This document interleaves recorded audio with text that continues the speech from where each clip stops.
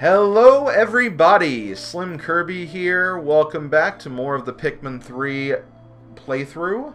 Uh, this is actually going to be the final video of the main part of the project because, uh, well, we've done some work here in the Formidable Oak. We are getting pretty close to the end of this.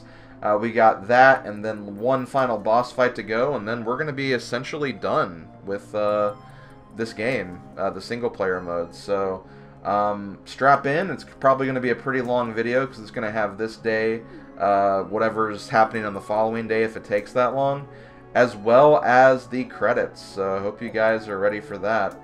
Um, before we get started, let's check in with our crew one final time. What do you suppose that strange life form even wants? That is unclear. It doesn't seem interested in our juice supply. It's peculiar how it's so focused on chasing Olimar. Here's what we're going to do. Alph and I will distract the beast.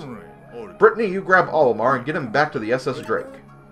Yes, sir. You guys be careful.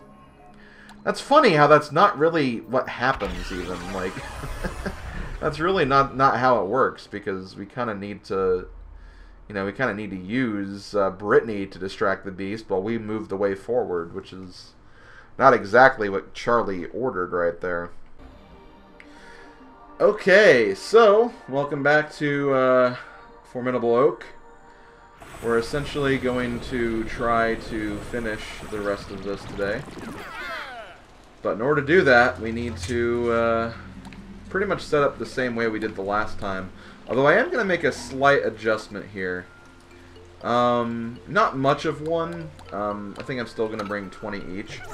Uh, but I'm not going to put Wing Pikmin on Olimar, since uh, I don't think we really have to worry about uh, what Pikmin carries Olimar anymore. Uh, instead of using Wing Pikmin, we're going to use Rock Pikmin, because at the very end of this section, um, naturally we're going to have a boss fight, and we're going to need pretty much all rock Pikmin on the field, so that's what we're going to be uh, focusing on anyway. Uh, so there we go. Ah, Olimar. Phew, he's alright. That gold life form doesn't seem to be around. Let's use this chance to rescue him. Sounds like a good idea to me. So yeah, like I said, we're going to use rock Pikmin this time. The Pikmin don't seem to know which way to go. Okay then, it's time to relaunch Operation Rescue Olimar. In that case, I'll direct the Pikmin. Thanks, Brittany. You can get started on transporting Olimar back to the ship, Brittany. Alph and I are going to search the immediate vicinity to see if we've overlooked anything, and then we'll catch up with you. Okay, here I go. Whee! oh, Brittany. Oh, Brittany. Okay, so this is how this is going to be different. First of all, as you can see, Brittany is uh, already um, in the cave, which is good. But, the thing is right here. Uh, thankfully, though, we immediately get control of Brittany here. Here it is again. Brittany, get Olimar out of here. I'm on it. Pikmin, follow me. Okay, so like I said, Brittany gets controlled immediately. Uh, let's put Brittany... I'm only going to put her at this intersection right here. So we're going to do that. Uh, going to send you guys over this way so we can get uh, continued to working on the uh, section we were working on before. There's really not much we have left to do. It's really just a matter of, uh, I think we have to light one more uh, electric thing. I know, very descriptive. And we also have to, like, knock over a clipboard. I think there's another spider we have to kill. But that's pretty much it. Like, we are almost done here. There's not much we have to do. Uh, so, first thing I'm going to do is I'm going to grab Charlie.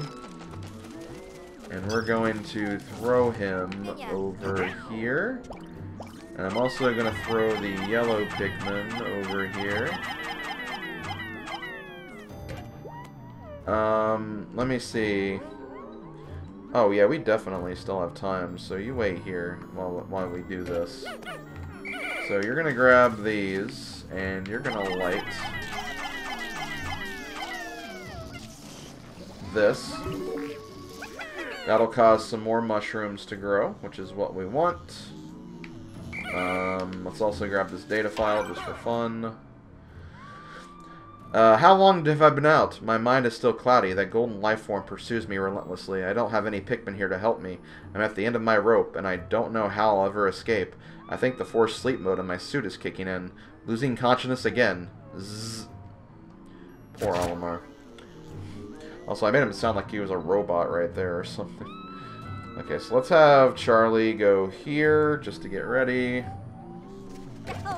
Um, hopefully none of my Pikmin fall off of this bridge. It looks like we're okay. Uh, then we have to turn over this way, go through this. Uh, before I do this, uh... Oh, Brittany's actually not really much in danger. Let's actually go ahead and get her going towards uh, the exit. Again, this is really, really nice that I've been able to make such good progress in such a short period of time here. Uh, so let's go ahead and beat the spider. Um, you guys go ahead and get this data file that's going to be inside that molehill. Yeah, it's a data file. I don't care that I'm spoiling it. It's literally the last data file I'm trying to get in this playthrough. You're here, okay. Well, while you're doing that... Go ahead and put you here. We're, like, literally about done, guys, and it feels pretty freaking good. Okay, let's go ahead very quickly grab the data file. Number four, that is the last, well, quote-unquote last secret file. Obviously, there's that one we didn't get in uh, the um, Garden of Hope that I'll go back for, and then I'll talk about the data files. But um, aside from that one, yeah, we're uh, pretty good to go on that. And I believe, okay, we have 95. Brittany should be joining us very shortly. Pikmin just entered this room, so they'll be here shortly as well. I, I, see his corpse down there. Okay, so there we go. Got Brittany. Let's actually leave. Um, and yeah, we can definitely leave right now. The Pikmin will be able to make it back. Uh, the glob, the giant glob of goop is going to be a little close to where Olimar is right now. But uh, I think he's safe. Because um, Olimar's currently like above it, so it should be fine. Uh, we're going to very quickly go over here to our base, and we're going to deposit our numbers. With the exception of bringing out all, and I mean all, of our rock Pikmin. So, um, essentially, we have 100 rock Pikmin on the field. This is one of two ways you can approach this fight. Um, you can approach this fight using all your different types, but uh, I do not recommend that because it can be pretty uh, intimidating due to all the stuff you have to do. Uh, while with Rock Pikmin, you can kind of... Uh, there's a little bit of safety with just using Rock Pikmin, and I'll talk about that shortly. Uh, let's go ahead and see. Are we almost done here? I'm just looking to see where the Pikmin are at. Oh yeah, they're coming through the transition right now. Okay, here we go. We made it.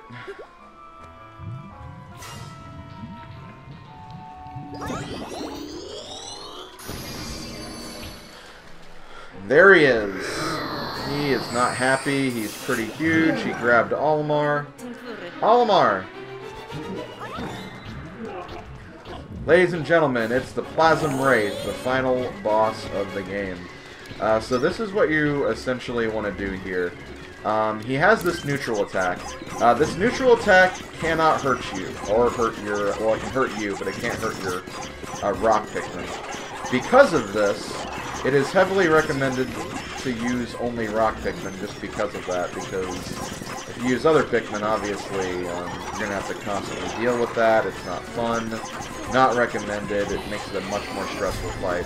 While with just rocks, you just have to worry about, you know, putting the damage in and then, you know, focusing on the future um, phases.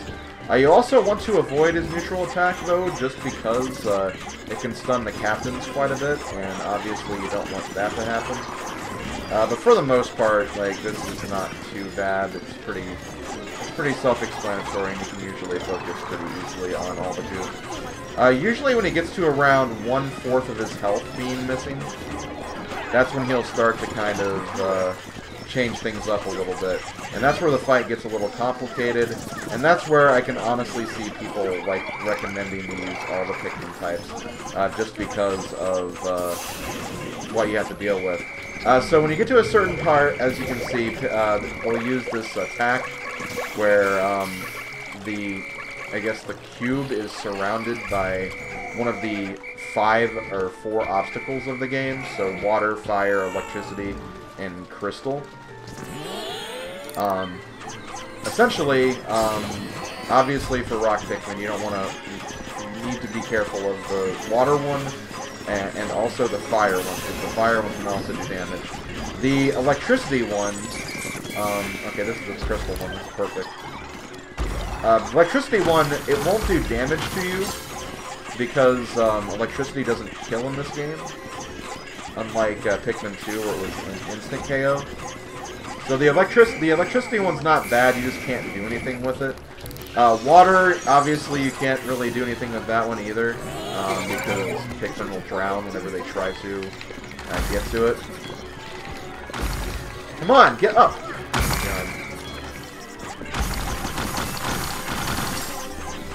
Uh, but fire, you can damage uh, during that phase. It's just, uh, you have to be very precise and quick because of the nature of the fire phase. And you have to make sure you whistle your Pikmin back if they do get engulfed by the flames. Um, here he's flying. This is, I guess, where like it's encouraging you to use wing Pikmin. But obviously, we don't have wing Pikmin, so we're not going to do that. Also, use your sprays in this fight. Using your sprays will make this fight go a lot faster. Uh, we're about halfway done. Honestly, I think we're making pretty good time. Uh, we've gotten kind of lucky with the phases, thankfully. Um, So, let's see if we can do that. This is honestly going to be a little unfortunate. I feel like we're going to lose some Pikmin here. But, at the same time, we're also going to get a lot of damage in, too, which is, I think, more important at this point. Let's go and read this. Uh, Plasm Wraith number two. It starts flying. Send you in your wing Pikmin. Yeah, I already figured that out, game. Thank you. Uh, let me go ahead and check this data file too while he's kind of walking around. Plasm Wraith 1, attack the fragments when it breaks apart. Yeah, we figured that out too. Oh, even Olimar's trying to help us out. Like, I think like one of the data parts or one of the data files comes out when like you're attacking it. I wonder if that's like Olimar like trying to help you like while he's stuck. Which if that's the case, that's pretty freaking cool. I'm not gonna lie, it's pretty freaking epic that Olimar is such a badass. I'm gonna probably miss a lot of fire. Unfortunately, I probably lost a lot of Pikmin there. Oh man, I did. I lost like 10 Pikmin from that one attack. But I'm doing a lot of damage to him though, that's the thing. I don't want to like, like reset or anything. This, this fight's honestly going pretty good. Let's wish again. We didn't do this flying thing. The problem with the flying phase, at least with what my numbers right now, is that, you know, I could probably hit them with yellow Pikmin, but uh, rock Pikmin, due to their, like, stubbiness, you can't really get to them as fast. Let's see. Oh, perfect, perfect, perfect.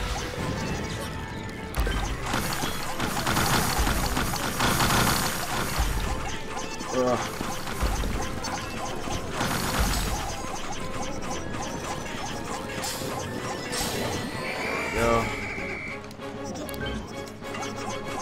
still kind of missing a lot of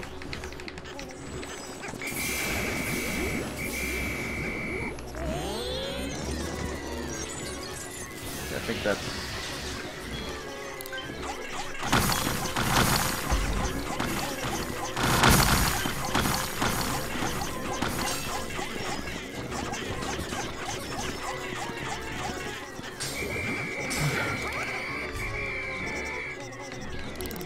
in the red, that's not bad.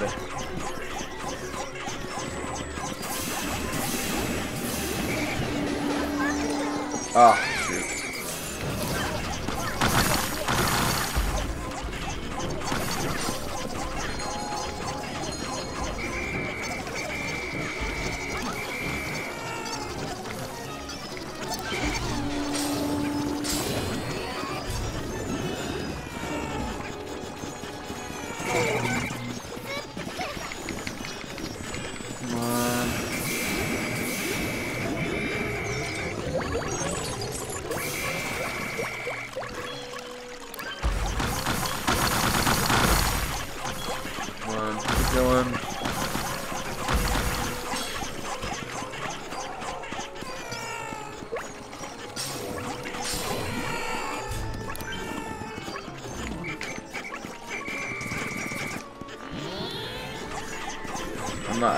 Like a lot of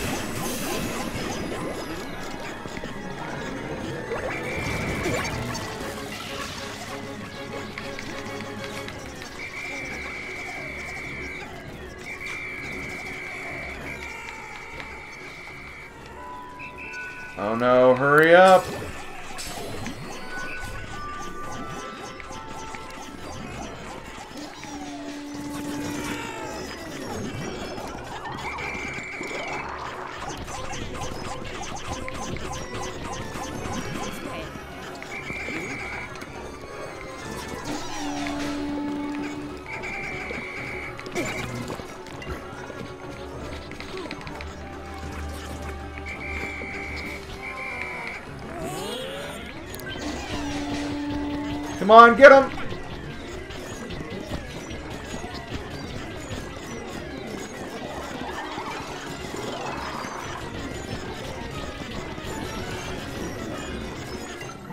Yes! Got him! Man, I lost a lot of Pikmin, but I don't care. oh, man, that was close. I, I lost way more than I was wanting to, but um, we got him down. I got really lucky because a lot of the phases did have the uh, um, crystal phase, but um, still, that fight can really, really go wrong if the luck's not in your favor, especially if he makes like two electricity and one water barrier, or one electric, one water, and then the fire, which, you know, fire obviously sends him everywhere, which is not really helpful. Um, but yeah, here we go. Final cutscene of the game.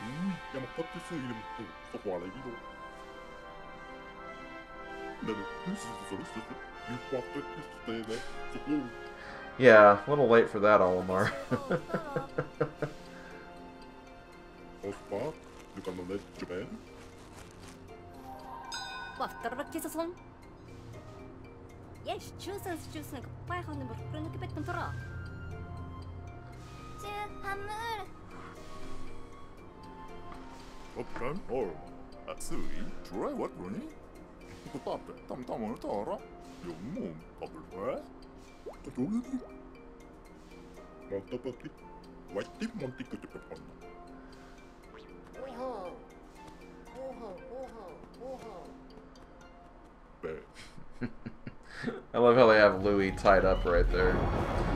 But yeah, there we go. It was uh, it was a rough battle. It was a rough day, a rough two days technically, but uh, we made it, guys. We made it.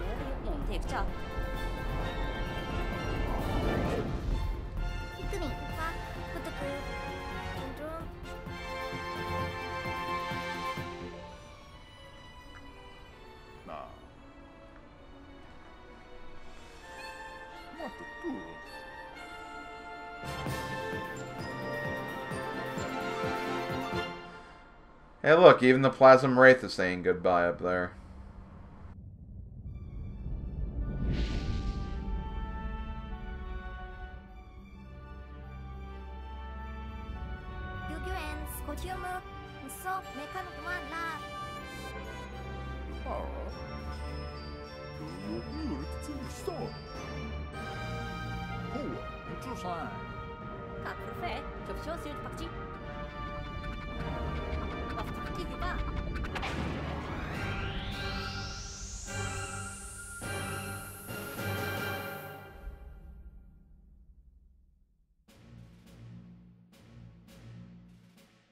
And so the intrepid explorers successfully complete their mission.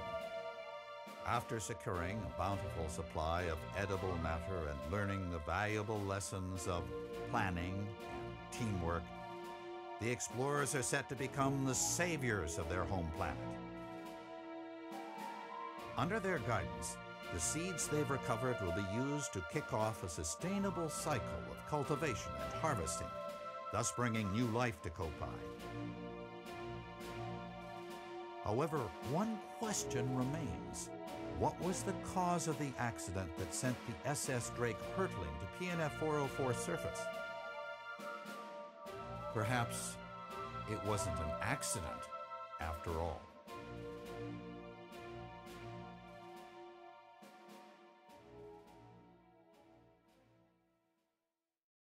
And with that, we have made it to the credits, and we've officially beaten Pikmin 3. So, I guess I'll start getting into my final thoughts. Uh, final thoughts on the game. Um, I think it's a pretty solid game. Um, it's one of the few remaining exclusives that the Wii U has left. so if you have a Wii U, I definitely recommend it, especially if you have any sort of interest in Pikmin. Uh, this game definitely, I think, fixes a lot of problems that kind of existed in the first two games. Not completely, mind you. Um, the Pikmin AI still is not perfect, but I think this is the best Pikmin AI in the series so far. Um, and I also am not super fond of like some of the revisits in some of these areas. I feel like some of the things and the pieces of fruit are like really awkwardly scattered, but when I'm getting into that, that's kind of more nitpicky more than anything. Um, it's still a very fun game. I really, really enjoyed playing this, and uh, it was a lot of fun. Honestly, this is a really, really solid game.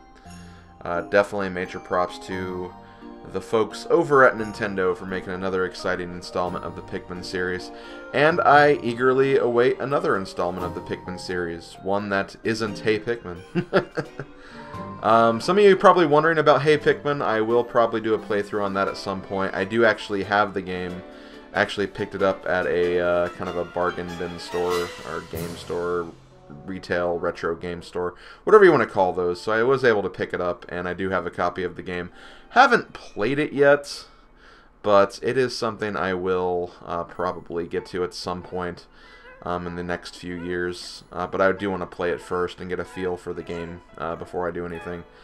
Um, so yeah, that's uh, pretty much my thoughts on Pikmin 3. Very solid game, definitely worth a check out if you like the series, or if you have any interest in the series. It's a lot of fun, and it may seem very difficult at times, but Pikmin always seems to be a series that, even though it seems pretty difficult, I think it has a very, very steady learning curve. You can kind of develop your multitasking skills while you're playing this, and that's a really cool thing about it.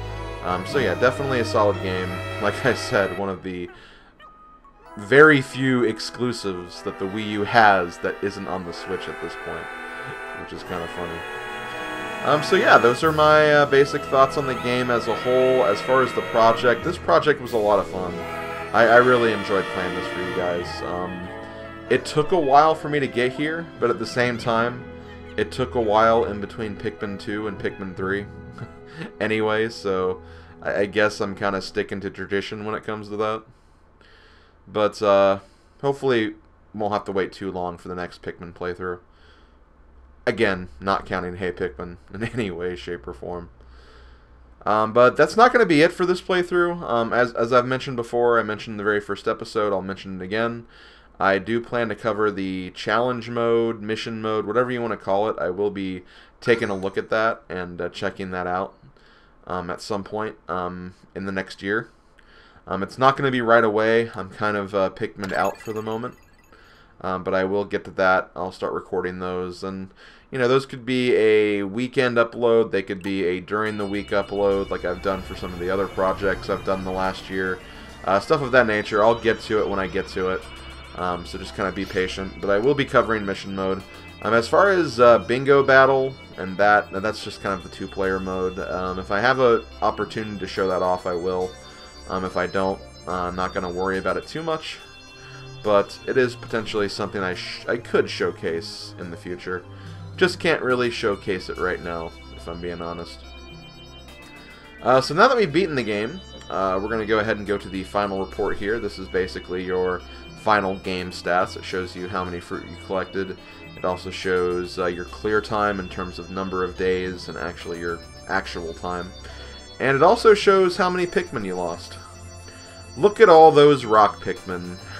I'm ashamed to know that a lot of those rock Pikmin losses were actually in today's video. Because I went from like 100 to like low 40s, so... Yeah, the losses should have not been that high. I just didn't really want to redo that boss fight, especially since I kind of had like a, a little bit of the ending part of the chase sequence left. That would have been just really annoying to kind of redo and keep redoing, so I decided, eh, whatever. I'll just uh, take the losses. But yeah, you can you can generally mitigate losses by just being a little more careful and being a little more conservative. I just didn't feel like I had the time to be too, too conservative in that fight uh, just with how uh, chaotic it can be. Uh, but yeah, you can see how many Pikmin you lost, including Pikmin of each type. You can also see how many Pikmin you've created overall, again, for each type and overall. It's uh, pretty cool statistics. You get statistics like these at the end of every Pikmin game, so it's kind of neat. Um, there's also two other options, as you can see at the bottom there. Um, I'm going to go ahead and probably cut to each. Um, first of all, you can take a look at your best five which basically shows uh, your five best completions um, in this game. Um, as you can see, there's uh, three completions that you see right now. Uh, that is because um, I have that first playthrough I did uh, back when I streamed this game, like a couple of years ago. And then the other playthrough is technically the same file. It's just the file that I played a little bit ahead of in my practice file. Uh, so there really wasn't that much of a difference between uh, my live playthrough and my practice playthrough. Although in my practice playthrough, I feel like I lost more Pikmin overall, like because I always went back and like did a little better uh, with uh, you know mitigating Pikmin losses, so it was a little better in that department. But uh, still, uh, that basically that's what this is: your last five playthroughs, your best scores, and the rankings. Um, these are actually global rankings, and it's actually pretty interesting because as you can see, I, I did actually pretty well in both of these. Um, in terms of uh, the two statistics, you have the uh, rankings in terms of fruit you collected. So obviously, like if you collected everything, um, you should be expected to be on the far end of the spectrum here. Uh, but as far as the other one, it also shows you how well you did in completing the game in a certain number of days and collecting all the fruit and everything. And I think I did pretty well. Like, um, obviously, it's not at the very end of the uh, graph. Um, that's where all the speedrunners and all the, like, really amazing multitaskers are. It, it's just really hard to speedrun this game, I think. Uh, it would be really hard for me because I'm someone who likes to kind of think about my moves and I'm someone who likes to be very careful. A lot of the speedrun strats kind of uh, involve you kind of taking some risks with like hoping that enemies don't see certain Pikmin, or you just know the path they're going to take, so you know they're going to be safe from danger. Um, it's it's really really difficult, and kudos to those players for being able to keep all that stuff in mind and registering all of that. I just cannot do that for the life of me, so definitely kudos to those people uh, for putting on such an amazing uh, display of Pikmin fortitude. Um, so yeah, that's gonna pretty much do it. Um, whenever you finish a game, um, you can't really do what you can do in other Pikmin games where you can't really revisit areas or anything. It just kind of says, oh hey, you've completed this playthrough. Um, but what you can do is, obviously, you can set a new playthrough by going back to day one of that playthrough and kind of starting over again. Or you can go back to specific days. You can go back to the day before um, you finish the game and kind of work on some stuff there before you go back to the final area uh, stuff of that nature.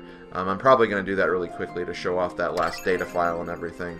Um, but yeah, that's uh, pretty much uh, how you can essentially play a new game or you know, still get some use out of your current file. I'm obviously not going to worry about it. I've already completed the game. We've seen the credits. We've seen all the good stuff. Um, I'm pretty much done with this file. Um, but uh, like I said, I will be going back for that very quick data file, so uh, stay tuned for that.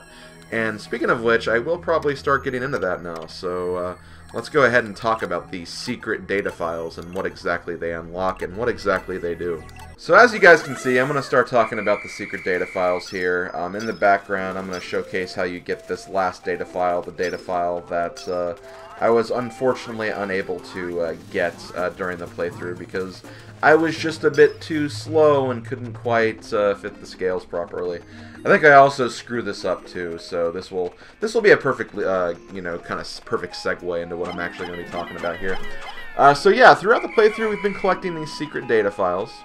Uh, the secret data files are basically 10 data files. Um, each one has a single number on it.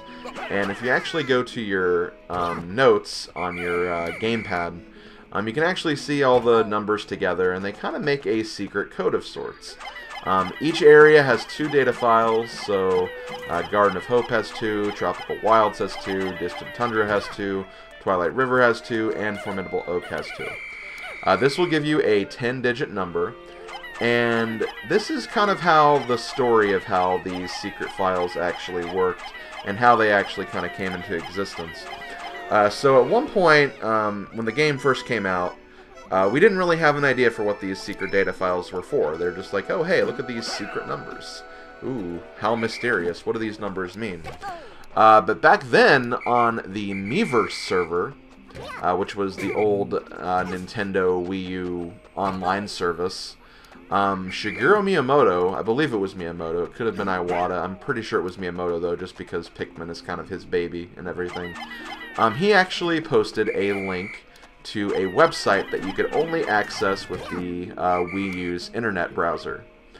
Uh, so you'd go to that website, it'd ask you for a code, and that is where you actually input the 10-digit number the secret uh, data files actually spell out. Um, there are four specific codes um, the codes are randomized between playthroughs, so you could get another code, a completely different code on your second playthrough. It's kind of cool how it does that, but I kind of also wish that there'd also just be more files to allow you to do that instead of what they actually did for this game. Uh, but still, um, that's further from the point. Uh, basically, you'd enter those files, and you'd actually get to watch a special video. Uh, this is just a fun little video that the uh, creators of the game made uh, to kind of uh, not really promote the game because obviously you need to play the game to actually see these, but they're you know it's fun little bonus content that kind of you know pushes you to try to find all these data files and you know see what exactly that these videos are. Uh, so I'm going to go ahead and showcase the video that I unlocked with my secret code. Um, I'm not going to showcase the other videos because I don't want to kind of get into any weirdness with like copyright infringement or anything. That shouldn't be the case because again it'd just be a matter of me playing another game and then, you know, getting the codes that way. Uh, but I'm also not entirely sure if they'd actually show the videos properly because I don't know if they show them on the TV screen or the gamepad. So Either way, I'm just going to showcase the video I got. I'll put a link to the other videos in the video description, uh, so if you want to watch all of them, you can. And there is also another special video that was made that's kind of in the same vein, uh, but it doesn't actually, you can't actually get that last video. It's kind of a super special secret unlockable video. Uh, so I'll go ahead and again put those in the video description, but uh, this is the video that we unlocked.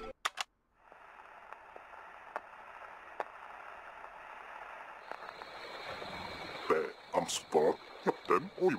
in the window go no the leading but the get the skus the bar so that is jing jo go ba petit skus chocolat hi then the so so so so possible what jo go then the this in the window skus leading so that is jing then the so so so so this in the window there has to yoko for for the then there this leading jing chocolat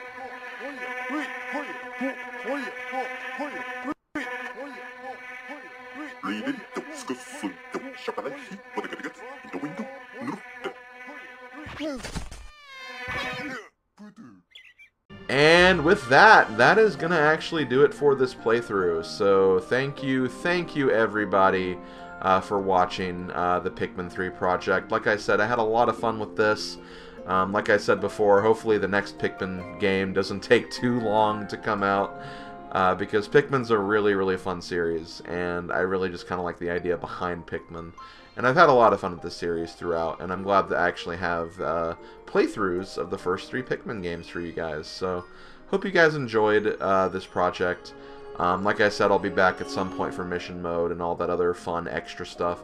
Uh, but for now, we're going to be closing this game, and this is going to be the closure of the last playthrough of 2019. Um, of course, I'll have some uh, special videos released in the next few days um, in, re in regards to the end of 2019, as well as my Project of the Year video, as I normally have.